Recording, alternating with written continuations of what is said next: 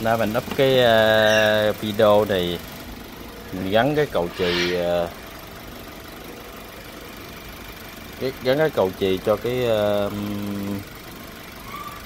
cho cái bình. Mình thì ít đi.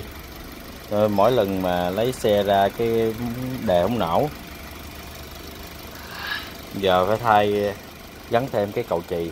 Nó là cầu chì tự động đó. 100 ampe luôn. Thay cái này nó gắn cái uh, vô cái cái cổng dương. Cái dây dương á thì nó nó nó bảo vệ cái hệ thống luôn nhưng mà mình không xài. Mình không xài mình gắn qua cái dây âm để mình nhắc cái uh, bình ra thôi. Nhắc cái bình thôi. Đó, này hai trăm mấy á.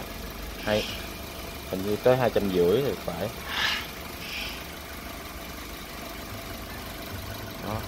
Những những cái nút này à, nó nó nó bật ra là là là tắt rồi.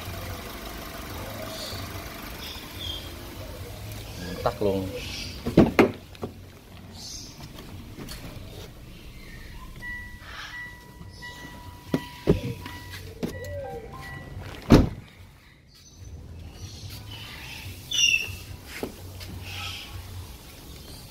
Đó. Những nó nhảy ra tắt hết điện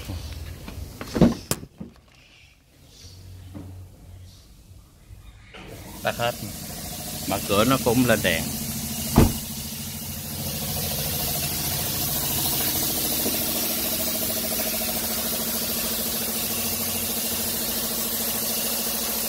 Vậy nha mọi người. Cảm ơn mọi người xem video.